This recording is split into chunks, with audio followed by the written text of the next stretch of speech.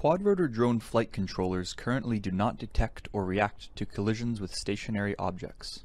Many platforms now incorporate bumpers, which protect the quadrotor's propellers. Under position control, platforms such as these generally collide unintelligently and often result in complete loss of flight stability. In this video, we demonstrate a method for recovering from collisions between a propeller-protected quadrotor and a vertical wall. This recovery strategy requires only IMU and barometer onboard sensing, which is available on the majority of commercial platforms.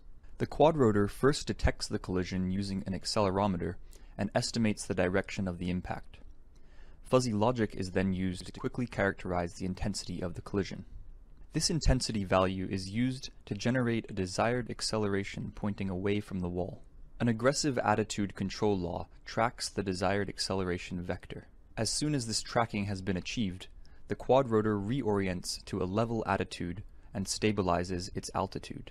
Once full recovery has been achieved, control is returned to the pilot or autonomous navigation.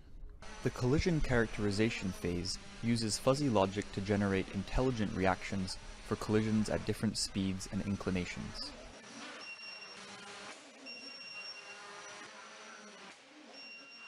Integrating collision recovery as a standard quadrotor feature provides another stepping stone toward the improvement of drone safety and autonomy.